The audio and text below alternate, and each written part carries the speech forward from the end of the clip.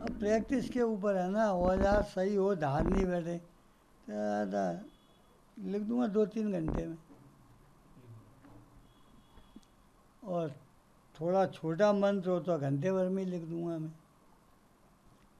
अभी तक आपने नहीं तीन चार बल्ब भी लिखे मैं लिखता नहीं हूँ ज़्यादा।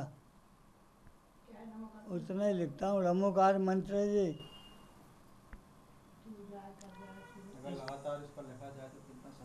कहते रहो ना दो तीन घंटे लगेंगे